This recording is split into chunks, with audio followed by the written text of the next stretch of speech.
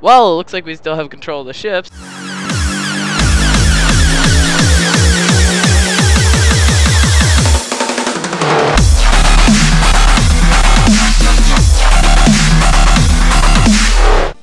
Why, hello there, everybody. How's it going? Xremington04 here. Today we're going to be playing a bit of Kerbal Space Program. So let's go ahead and get this started here. Start game. Moon or bust. For those of you that don't understand that reference, go back to school. anyway, I'm to go ahead and start a new game here. We'll call it The Coolest Place Ever. I'm gonna do sandbox because sandbox so much more fun than career. And we're here. I'm getting a whole 10 frames per second. There we go, back up to 50. And we're gonna go ahead and immediately start building our first ship. So let's go into the little hangar here. And uh, let's go ahead. What type of ship should we build? I'm gonna build a high orbit glider because they're actually really cool. So I'm gonna go ahead and add my my shuttles. Uh, cockpit and keep moving it up because it's got to be relatively high because we're going to put a bunch of boosters on it. It's not actually going to be that big itself, but let's go ahead and put some propulsion on it. Okay, that's probably good. and we'll go ahead and put that on there. This is going to be the main shuttle, the part that we're going to be landing. I'm not going to put any parachutes on it just because I'm that skilled. It's actually really fun trying to land it. I'm not sure if I'll be able to, but Hopefully I will. I'm going to go ahead and put a decoupler on here. And we're going to go ahead and add two more fuel tanks. One, two. And we're going to go ahead and add another engine. That way we can have a two-stage shuttle. Now what we're going to do is we're going to go ahead here into aerodynamic and I'm going to grab a delta wing. I'm going to put on angle snap and dual symmetry mode. We're going to go ahead and put it on the side so it's like that. Just so it looks pretty we're going to grab another delta wing and move it down here just so we have kind of two separate shuttles. Then we're going to grab a tail fin and put it on the back. We're going to put another one down here just to make sure we're stable the whole entire time. It's pretty full. It's pretty full, ain't it? Mm -hmm. It's tall and that's a really weird looking shadow. Especially since it has holes in it. But there are holes between the wings. That's one thing they do need to fix in this game.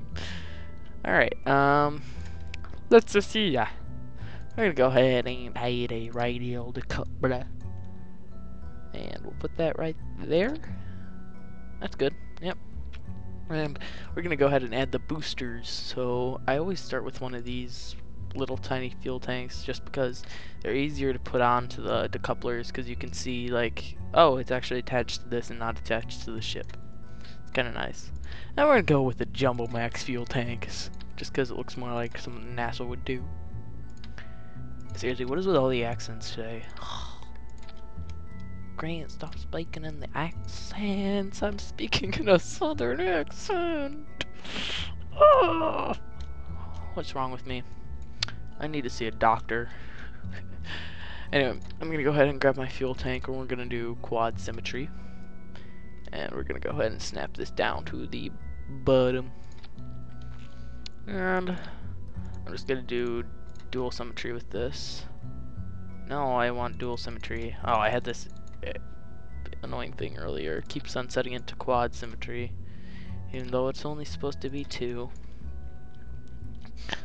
and the only reason I have this fuel tank down here I'm actually gonna add one more onto this is because I want to Oh crap, I forgot. I wanna detach these once we get up there, so I'm actually gonna add a radial decoupler. Decoupler onto there. There we go. That looks much better. Actually, we're gonna move these up to here. And then we'll go ahead and add another one of these so we know we're actually snapping to it, not to the ship. And get some of these. Alright. Looks pretty snazzy. And then I'm just going to go ahead and grab these and put them on regularly because of that stupid bug where it always changes the regular symmetry to quad symmetry because it wants to be unhelpful. Alright, so basically what I have here is just a simple rocket setup with the boosters and all. Uh, I do have the only reason I have one here is one it would interfere with the shuttle, and this one also acts as a counterweight for the shuttle. It's probably not going to be enough though, so I'm just going to go ahead and add on this little guy. And I'll go ahead and zoom back in. Zoom in, and we'll add some aerodynamics. Gotta love them aerodynamics. Aerodynamics. We'll go ahead and put on symmetry mode just so we can put this on a bit easier. Well, actually, I don't even need it anymore. I only needed it for that center thing. Nope. Go on. What is it trying to put? there. Alright. Now I'm gonna go, actually, I forgot to put the stabilizers onto the rocket itself, so I'm just gonna move that off the side. Advanced inline stabilizer. And put that on. It's beautiful. And then we're gonna get these advanced SAS modules. What does SAS stand for anyway? In our school, it's like a punishment room. It's like temporary detention, in school detention kind of thing. And I'm just gonna go ahead and put some of these RCS whatchamacallits on here. Simply because they're awesome. And I really want this to be a stable ship. Because we're going to be launching high into the air. And then we'll go ahead and add the nose cone on this one. If we can put it on. And already it's starting to look pretty like it's ready for launch. But I do, however, want to not add a parachute. What am I doing? What am I doing? That's ruining the entire purpose. I want to add on some of these strut connectors just to make sure. I also forgot to put the engines on the bottom. We'll do that soon, but I want to go ahead and build these on here just so it's nice and stable. So all these should have them on there. And I'll go ahead and do same thing up here. The heck? What in the world? Oh, it's because I had the stupid symmetry on. Stupid symmetry, always getting in the way of things. I thought there was no symmetry. Come on. Come on! Not covering you in these stupid struts. Okay, looks like we're not having these strut connectors there because it's being uh, annoying. We'll just put it at that. And we'll go ahead and attach there and attach there just to make sure the shuttle is nice and secure and it's not bouncing around like I did with my last launch. Go ahead and add another. The radial decoupler should be powerful enough to get rid of these. And then I also want to add on some winglets to the ship just to make sure we have some way to control it while we're coming down at 800 miles an hour from the atmosphere. That way we can add some brakes. And it's looking pretty good. If I do say so myself. Except we've gotta add on those things down there. Let's go ahead and move it way up. Way up. Higher than a middle. Sorry. Actually, I'm gonna move this up as high as I can. That way I can have really big, unnecessarily large thingies. What am I saying? Unnecessarily large, uh... Ah, what am I thinking? Oh, okay, game just froze there. There we go. Uh, launch stabilizers, that's what I was looking for. So we're gonna go ahead and put some of these on. yep, unnecessarily large. My favorite. And then we'll go ahead and add on eight of them. Alright, well the rocket's looking pretty good, so we need a name for it. Let's go with... Uh, not Untitled Spacecraft. D D why can I not type today? Coolest ship. And then we gotta do... Boop boop! Yeah, cool. I'm a really slow typer all of a sudden. Alright. I'm gonna go ahead and save the ship just in case we somehow nuke the game. Not sure how that's possible, but it's not worth the risk. Oh, I also have to add on the, uh, the, uh, thruster locks onto here. I'm actually only gonna do three because I don't want it to interfere with disconnecting the shuttle from the thing. We're gonna go ahead and save, and it looks about ready for launch, except I forgot the stages.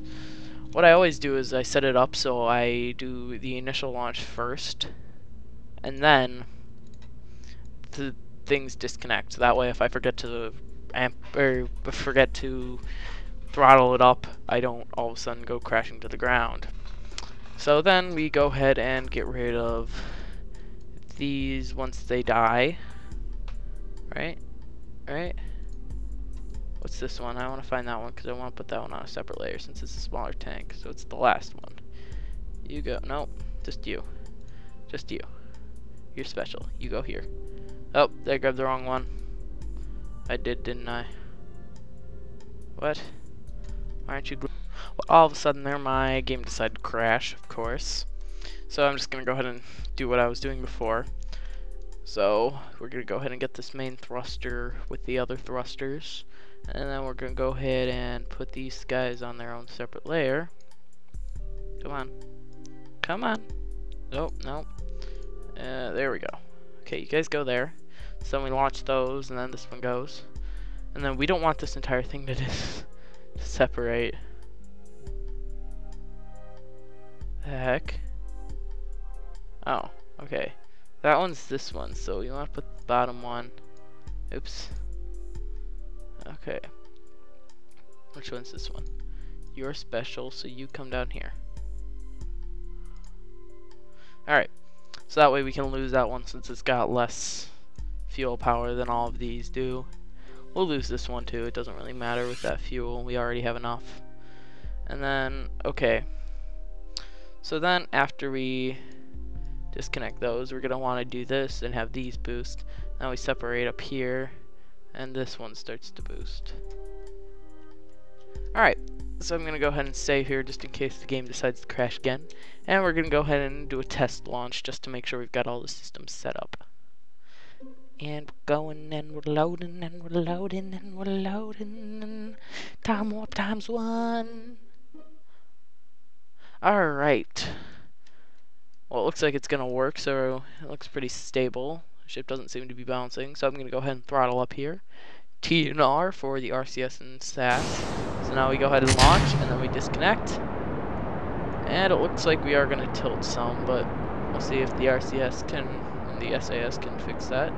Yep, looks like we're just a bit heavy over here. So I might take that off. We are getting overheated a bit here. That's fine though, it should only go halfway, because by then we're going to be way out of the atmosphere. Come on, only go halfway. You don't have to go any further unless you want to. Anyway, we're going to be disconnecting most of these. Yeah, it's going to stay around half. Slowly moving up. Slowly, but it looks like it's going to stay there. We're already almost done with our first guy right there. That's this little booger and we're at 4,000 meters. See, what I hate about the US is they use feet. It's like, way to be unique, US. Unique your lark. Stupid tongue twister. Okay, well, it looks like we're twisting. And I just totally messed that up. Nope, can I recover? Can I recover? I might be able to recover. Hiss, hiss, hiss, hiss, hiss, hiss, hiss, hiss. I'm saying hiss, just so you know. Okay, well, we're going upside down. We're going to go ahead and drop that guy. To go ahead. Okay, we obviously can't correct this, so I'm going to go ahead and let the guy go.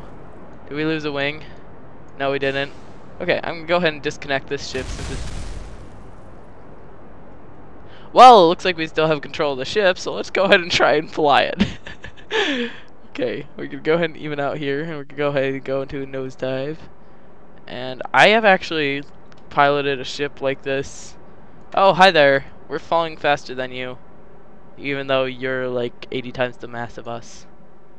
Okay, so we're going at 173, 174. I'm actually going to do this so I can gain some speed so I can pull myself up later. So I can go like that. And then, yeah. So I'm going to go ahead and get at a steady here. We aren't getting much horizontal speed. I don't want to lose you, Jebediah. I might have you go EVA last second to see if you can survive. Okay. Getting close here, 2,000. I'm going to go ahead and start trying to break. Okay, I'm going to actually do this so I can get some lateral speed, and looks like we're going to have to crash. It's alright, Jebediah. I got you, man. No! Jebediah died. Who's a brave soul? Note to self, take that off. Let's see, did Jebediah die? Yep, okay. Revert to vehicle assembly, and we can take off that extra weight. Because that is basically just ruining the entire thing. I don't even know what I was thinking putting that on there. Honestly. Okay, well we can't take that nose cone off because it's being incoherent. My new favorite word. Okay, we're gonna go ahead and save and try and launch again. Hopefully I won't lose control like I did last time because that was stupid.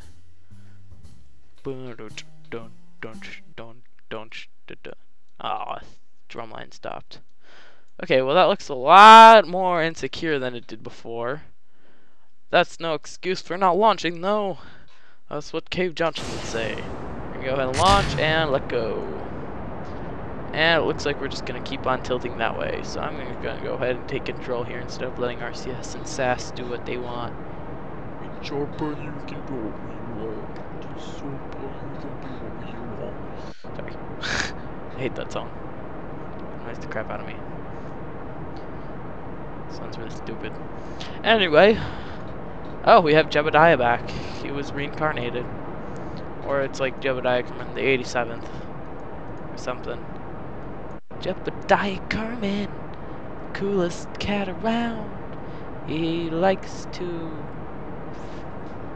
pet his kitties and never shows a frown. Jebediah Kerman, he's so cool and he looks amazed. I don't understand why it's so laggy. I wish it weren't like that, even though it's trying to simulate what an actual astronaut's camera would look like if it was pointing at his face. It would be much better if it were smooth, cause that was like back in the 80s. Time drop the- Oh no! Oh crap! Oh crap! Oh crepe! Oh crepe! Okay, we're losing control again. We'll go ahead and let these guys go. Headed down to Earth. Oh, okay, we just let the entire thing go. I see how it is. Okay, let's go ahead and rotate here. And I'm just going to go ahead and land this thing. So let's pull up. Come on. You can do it. I know you can. I've done this before. Okay, looks like we're just going to have to do one of these. Okay. There you go. We've partially recovered from our stall. Okay, I'm just going to make our aircraft a bit smaller. And I think that we are going to crash. Anybody else in agreement? And come on. Okay, no. I guess we're gonna crash. Mm-hmm. I have to get a way to shed that engine. Mm-hmm. I believe I can fly in the sky. Oh, X! Oh my god. I'm an idiot. I forgot I could cut my engines. Well, Jebediah Kerman. Died twice in a failed launch. Revert to vehicle assembly. Why does this happen? I think it might be because this was also insecure because I never attached the top one because that one was being incoherent. I've said that word like 80 times in the past 5 seconds. Okay, maybe trying to connect this Okay, that works. Connecting this one to this one works. Okay, I'll go ahead and save and launch again. Maybe I can keep it under control a bit longer. You my poo. I smell like Alright, well I clicked out of the window again and I crashed again. So let's go ahead and get this flight underway. And launch! Okay, we're actually heavier on this side now, looks like. But it looks like RCS and SAS have us covered. I'm just gonna go ahead and go like this just so I can get a better idea of how far we're tipping. Then again, I do have the and yaw down here, so it does look like we're leaning this way a bit. I should go on visuals, though. Either that or if the pitch is all the way up.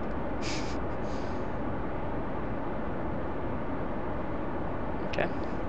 I was going smoothly at 2,000.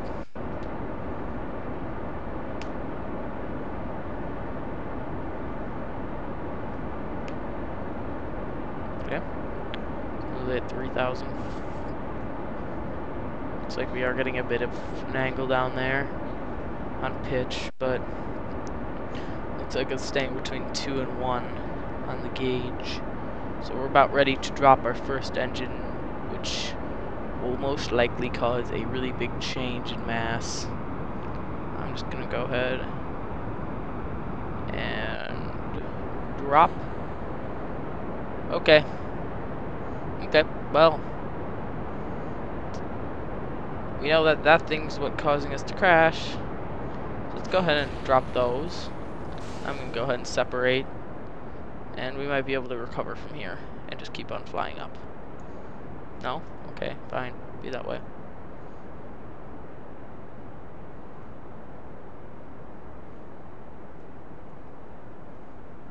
Turn off RCS and SAS here.